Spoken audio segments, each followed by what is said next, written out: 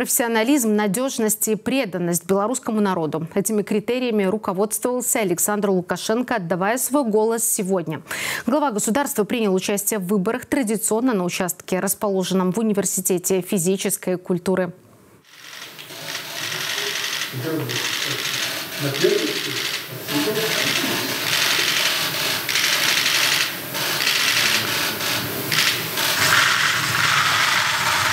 Ну, какой ящик? Какой удобнее, Александр Любой. Давайте вы это, да? Все. На участке номер 478 президента ожидала пресса, белорусские и зарубежные журналисты. Это один из показателей, что интерес и внимание к единому дню голосования в нашей стране высоки.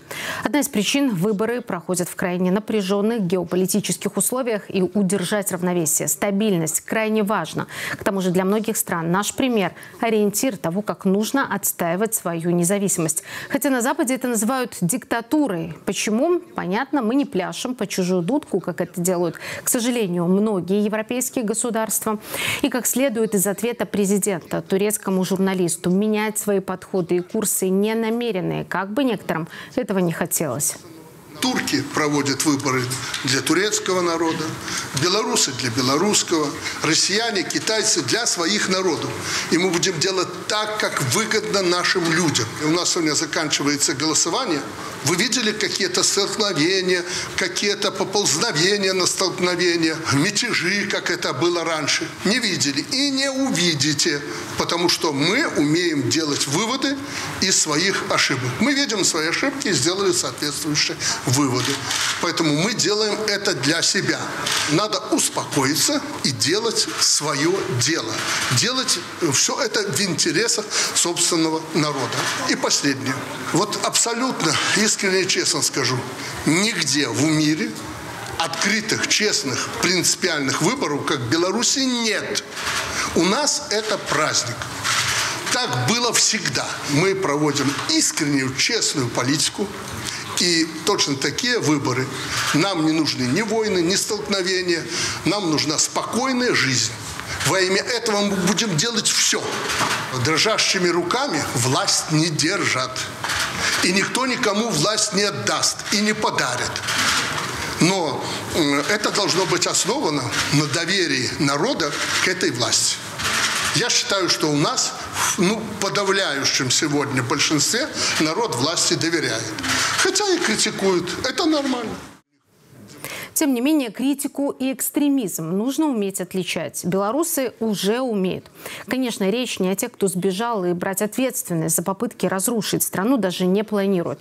Такие личности по-прежнему устраивают турне по западным государствам и договариваются о безумных вещах, вроде территориального передела Беларуси. Единый день голосования не также используют, чтобы попытаться взбудоражить общество и заблаговременно пытаются спекулировать на теме президентских выборов 2025 года. Пойду. Чем сложнее будет обстановка, чем активнее они будут будоражить наше общество и вас в том числе, для меня, поверьте, это очень важно. Ни один человек, ответственный президент, не бросит своих людей, которые за ним шли в бой.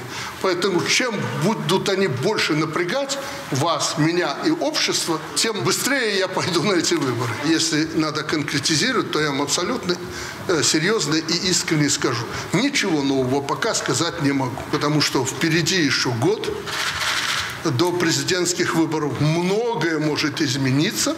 И, естественно, я и все мы, общество и журналисты, будем реагировать на то, какие изменения будут происходить в нашем обществе и в какой ситуации мы подойдем через год к единому дню голосования, если уж абсолютно. Поэтому я об этом не думаю. Я думаю о том, как этот год качество сделать сильным, мощным, для того, чтобы даже если президент нынешний не пойдет на выборы, чтобы вы запомнили, а последнее все запоминается. Поэтому этот год будет очень активным, и я на это настраиваю общество и всю вертикаль власти, которая честно и добросовестно трудилась и будет трудиться эти годы до выборов. Журналисты также спрашивали о наблюдателях от ОБСЕ. Глава государства подчеркнул, заявок от них не поступало. Тем не менее, мы проводим выборы честно и открыто. Александр Лукашенко готов пустить их в Беларусь даже без виз. Но хороший вопрос, стоит ли? Ведь мы помним предыдущую историю, когда протоколы наблюдателей ОБСЕ были готовы еще до окончания голосования и заведомо выставляли Беларусь в негативном свете. Явка избирателей по состоянию на полдень в Беларуси составила 50,97%. Это информация с учетом тех, кто сделал свой выбор досрочно. Ее озвучила секретарь ЦИК на пресс-конференции в информационном центре во Дворце Республики. Данные в разрезе областей страны следующие. По Бресту 53,12, а Витебская область 51,52, а Гомельская область 58,49%, а Гродненская область 48,68, Минская область 48,91, Могилевская, как я уже сказала, 59,67% и город Минск 40,64%. В общем, можно сказать, конечно, что явка на середину дня достаточно высокая. Вообще традиционно а, пик явки, наверное, приходится как раз вот на обеденное время. Поэтому посмотрим, какими будут цифры к 14 часам. На протяжении единого дня голосования руководство ЦИК информирует общественность о ходе электоральной кампании. На видеосвязь с Дворцом Республики выходят представители избирательных комиссий всех уровней – областного, базового и первичного, а также участковых комиссий.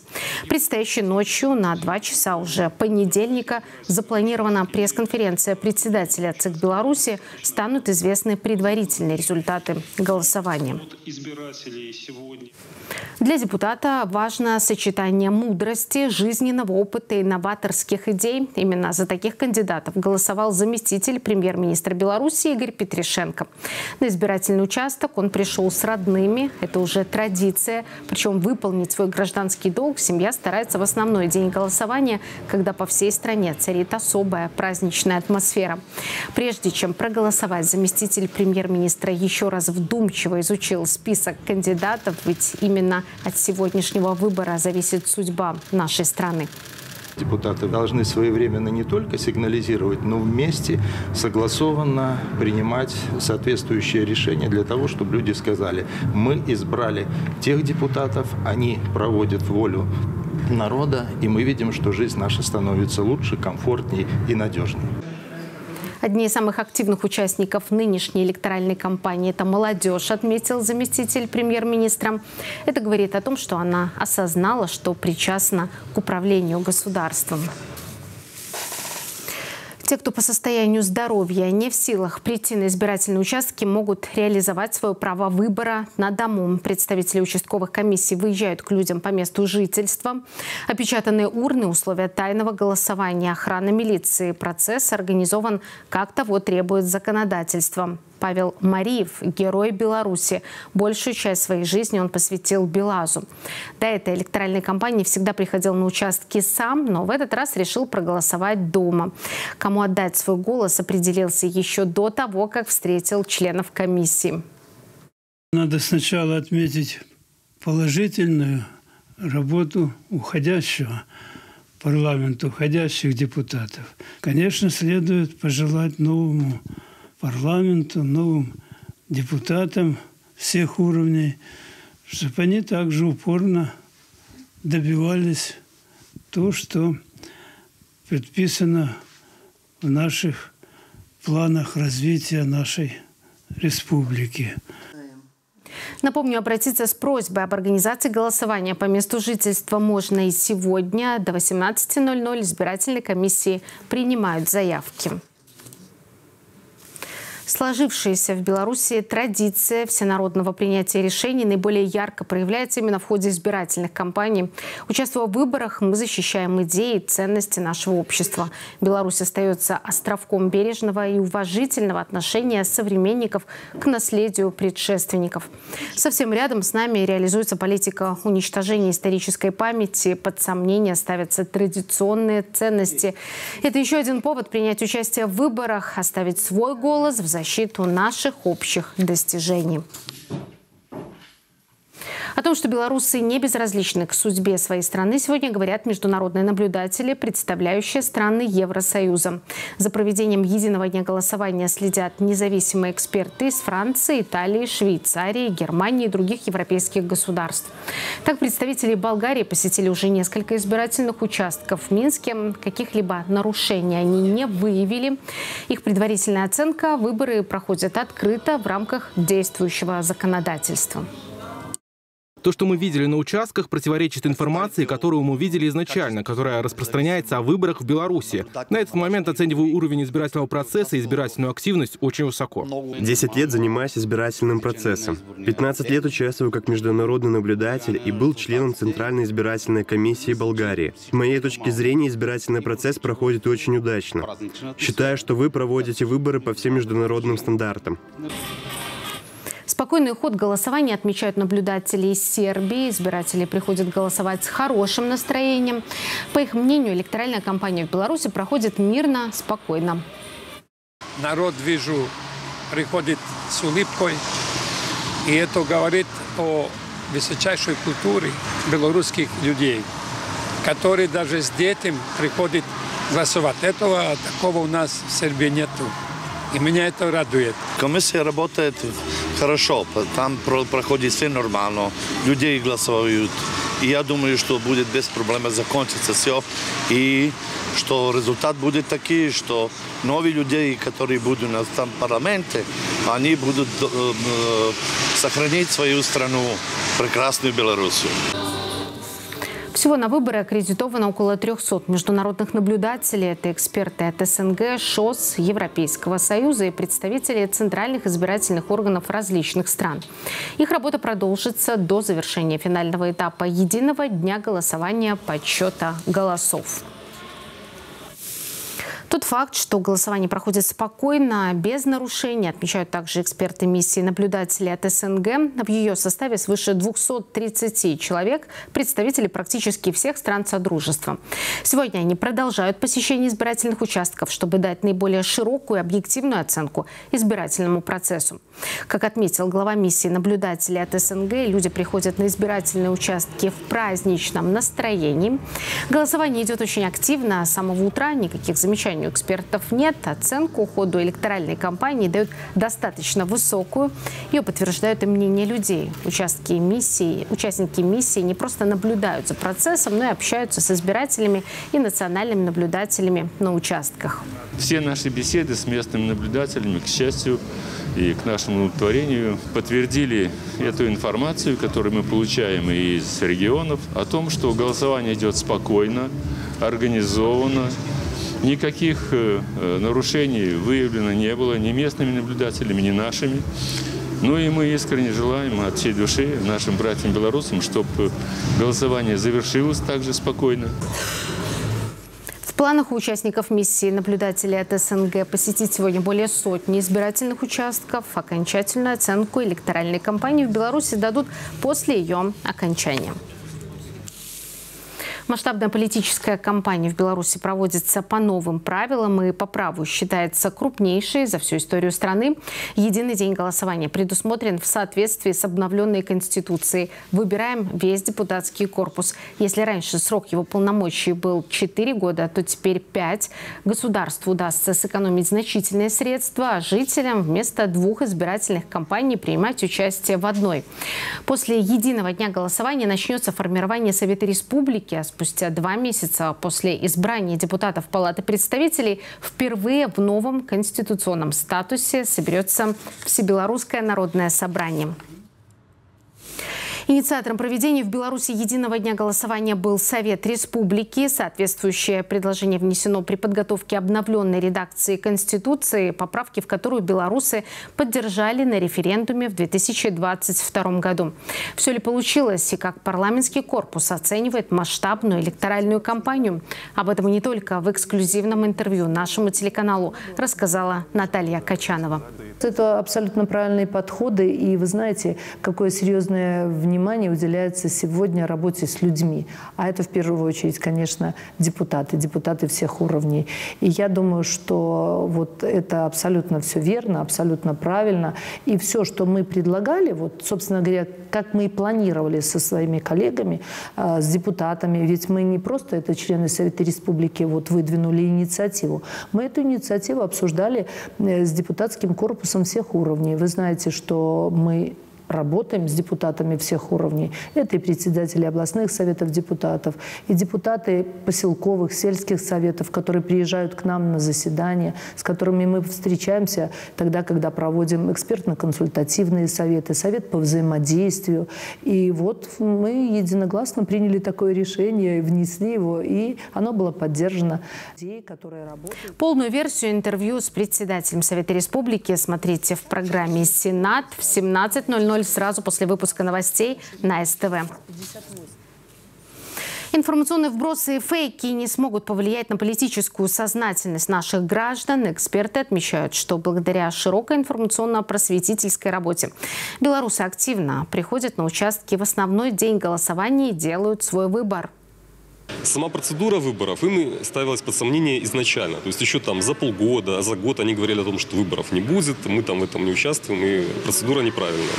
Поэтому то, что они сегодня говорят там про какие-то инструменты, там якобы завышение явки, это для них ничего нового как бы не представляет. А нас больше интересует вопросы безопасности. Со стороны наших беглых оппонентов, э, конечно же, в их подконтрольных э, СМИ звучали критические замечания по поводу наших выборов. Очень трудно им сегодня конкурировать, поскольку они в большинстве своем не находятся внутри государства, они не представляют реальности то, что здесь происходит. И их влияние на наших граждан уже весьма такое опосредованно. Кроме того, мы видели, как а, они весьма некритично относятся а, ко всякой информации, подвержены тому, что транслируют различные фейковые вбросы. В информационном центре ЦИК в Дворце Республики работает более 400 белорусских и зарубежных журналистов. Среди них и съемочная группа СТВ. Последние данные о ходе единого дня голосования, а также экспертные мнения мы получаем из нашей выездной студии. Моя коллега Юлия Алексеюк уже готова представить своего гостя. Юлия, приветствую вам словом. Катя, добрый день. Мы продолжаем работу в информационном центре Центральной избирательной комиссии. Буквально несколько минут назад закончилась пресс-конференция о ходе голосования. Ну а мы пообщаемся с гостем нашей студии, заведующим кафедрой Государственного управления юридического факультета БГУ Вадимом Сергеевичем Михайловским. Вадим Сергеевич, здравствуйте. Как вы в целом оцениваете ход избирательной кампании и избирательную активность? Белорусское избирательное законодательство в очередной раз продемонстрировало свою эффективность. Мы не пошли по пути многих западных стран и не ввели, например, административную ответственность штраф за неявку на, на выборы. Также, несмотря на введение единого дня голосования, мы сохранили право на досрочное голосование. В результате получили замечательные цифры. 40, более 40% явка в период досрочного голосования и повышенная активность в сегодняшний день.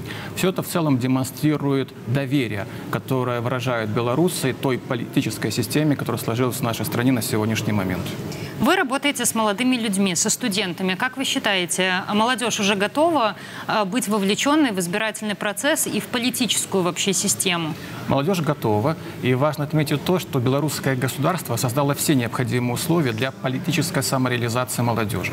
Если ты чувствуешь себя политически активным, пожалуйста, вступай в партию, в общественную организацию, прояви себя в трудовом коллективе, и даже в 18 лет тебя могут уже выставить кандидатом в местный совет депутатов.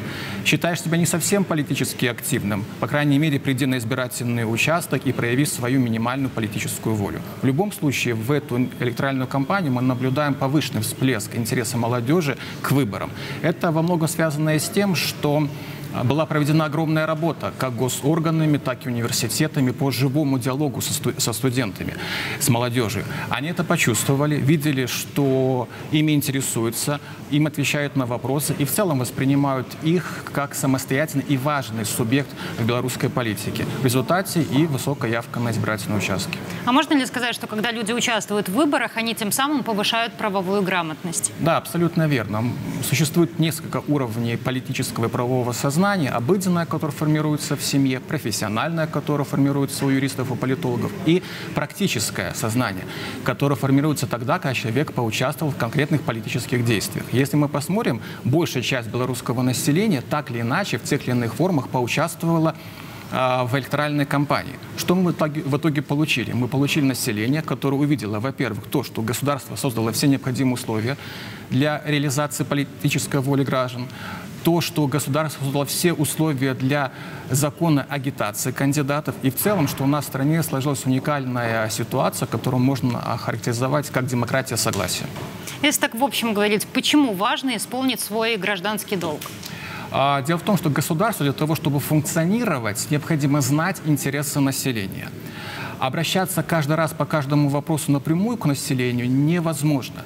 Поэтому ничего лучше, чем представительные органы власти, которые мы сегодня с вами и выбираем, люди не придумали. Мы выбираем сегодня тех людей, которые от нашего имени на протяжении будущих лет будут принимать крайне важные решения. И если человек хочет, чтобы его голос, его мнение было учтено, он должен прийти сегодня на выборы. Вадим Сергеевич, спасибо вам большое за беседу. Спасибо. Катя, ну мы продолжаем работу в выездной студии. Передаю тебе слово. Спасибо, коллеги. В следующих выпусках ждем еще больше аналитической информации от вас и ваших собеседников. Служители Белорусской Православной Церкви не остаются в стороне от избирательной кампании. В Гродно выездное голосование прошло в Свято-Рождество Богородичном женском монастыре. В обители 17 избирателей – это насельницы, церковные служители и настоятельница игуменья Гавриила. Работники ближайшего избирательного участка доставили выездную урну для голосования в монастырскую библиотеку, и там все началось с молитвы. Церковный хор исполнил в честь Беларуси песню «Многое летом». Только после этого монахини приступили к голосованию. Кстати, это тот особый случай, когда насельницы пользуются паспортом. Обычно документы хранятся в канцелярии. Господь что сказал? Воздавайте кесарю кесарева, а Богу Божие. И даже его Пречистая Матерь, когда уже должна была родить Христа, что она, бедняжка, она ехала по месту своей прописки Вифлеем, чтобы участвовать в переписи. То есть Господь, Матерь Божия нам сами показали, что надо обязательно быть гражданами своего земного Отечества, достойными. Свято-Рождество Богородичный женский монастырь участвует в каждой электоральной кампании суверенной Беларуси. С самого утра в храме обители во время богослужения прихожане по традиции помолились за нашу страну. Мы привыкли, что участки для голосования в основном работают в учреждениях образования, но пора разрушать стереотипы. Активную поддержку в нынешней электоральной кампании оказали лесхозы. В их структурных подразделениях открыто около 60 участков. Больше всего их в Могилевской области 15. На одном из них работает наш корреспондент Юлия Мычка. Она на прямой связи со студией. Студия «Добрый день». Мы находимся, я бы сказала, на одном из самых уникальных избирательных участках. Дело в том, что в деревне Гуслище Могилевского района он разместился на базе местного лесничества и находится прямо в лесу. Участок один из самых малочисленных. Здесь в списках избирателей всего 230 человек. Это жители близлежащих 10 деревень. Видимо, не в характере сельчан откладывать важные дела на потом, поэтому досрочно здесь уже проголосовали 47% избирателей. Ну а те, кто силу разных обстоятельств не смогут сегодня прийти сюда, ждут избирательную комиссию в гости. Желание голосовать на дому изъявили 86 человек. И есть у нас две бабушки с возрастным возрастом. Одной 90, второй 92. И они так даже ну вот, просили несколько раз, звонили и напоминали нам, чтобы мы это 25-го приехали к ним. Несмотря на свою отдаленность, на участке постарались создать праздничную атмосферу. Выборы проходят с белорусским колоритом. Тоны настроения избирательному процессу задает песня и гармонь. Артисты уже выполнили свой гражданский долг и проголосовали, а гармонист, как выяснилось, сам является членом избирательной комиссии. У нас есть хорошая песня «Нам друг без друга жить никак нельзя» из репертуара ансамбля «Беседа». И вот там именно и говорится о том, что очень приятно приезжать вот на такие участки и видеть, что люди приходят на выборы добровольно, вот, голосуют и не прячутся, как в нашей песне есть слова, в своих удельных огородах. Вот. А именно всегда вместе, всегда со своими односельчанами. Это приятно всегда видеть. Я впервые наблюдатель, и это огромнейший опыт для меня. Э, одно дело приходить и э, голосовать, а другое дело быть э, наблюдателем на выборах, видеть то, как, какая, какую работу делают комиссия изнутри. Это очень интересно и познавательно. Выбираю человека, который, надеюсь, изменит нашу жизнь к лучшему в плане коммунального хозяйства, житейских наших проблем. Все у нас, я считаю, есть. надо трохи самим шевелиться. Вот так. На участке созданы все условия. Нужно сказать, что у нас серьезный гололед, но все дорожки чистые. Кроме этого, есть безбарьерная среда, установлен пандус, поэтому препятствий для того, чтобы прийти и сделать свой выбор, нет. Студия. Спасибо. Это была наш корреспондент Юлия Мычка из Могилевской области. За ходом голосования сегодня следят более 22 тысяч национальных наблюдателей. Информация от них поступает в Центр общественного наблюдения за выборами со всех регионов страны. Здесь же работает горячая линия и чат-бот. Операторы Центра оперативно отвечают на вопросы жителей и информируют их о нюансах избирательной кампании. Только в период досрочного голосования поступило около 300 таких обращений. В основном белорусы интересуются, как найти свой участок и можно ли проголосовать не по адресу регистрации. Также за это время наблюдателями были зафиксированы два нарушения со стороны избирателей. Один пытался вынести бюллетень, другой его сфотографировать. Наши национальные наблюдатели в большом объеме работают на участках. Они зафиксировали, что все участки открылись вовремя. Каких-то внештатных ситуаций не зафиксировано. Были опечатаны ящики для голосования. Прозвучал государственный гимн Республики Беларусь. Э, Центр продолжает свою работу и будет оперативно информировать общество о ходе голосования. Горячая линия Центра общественного наблюдения за выборами будет работать до закрытия участков. Это, напомню, 8 вечера не случайно, что на этом историческом этапе Беларуси во главе государства стоит настоящий воин, заявил российский философ Александр Дугин во время стрима «Озаренок напрямую». Сейчас наша страна противостоит сильнейшему внешнему давлению, поэтому как никогда важна сплоченность народа, особенно в такой значимый политический период, когда мы формируем депутатский корпус. Александр Григорьевич Лукашенко человек э, такой прямолинейный, решительный, а, однозначный в каком-то смысле. Сказали друзья, друзья, сказали враги, враги и все. И это на самом деле прекрасно. Это, в общем, образец для, для поведения решительных воинов и героев-защитников Отечества. Начиная с полудня до 22 часов лучшие российские и белорусские эксперты, гости проекта «Озаренок» напрямую подключайтесь к просмотру в YouTube. Возможность сделать свой выбор должна быть у каждого. Избирательные участки оборудовали элементами безбарьерной среды. Наш корреспондент Анна Корольчук оценила условия, созданные для людей с инвалидностью. Анна, добрый день. Вам слово. Добрый день, студия. В этом году избирательные участки постарались сделать максимально доступными и комфортными для всех граждан, чтобы каждый человек в равных условиях мог сделать свой выбор. Участок номер 12 в Гомельском городском центре инклюзивной культуры, где я сейчас нахожусь, можно назвать образцовым в этом плане. Здесь учли потребности людей с разными категориями инвалидности.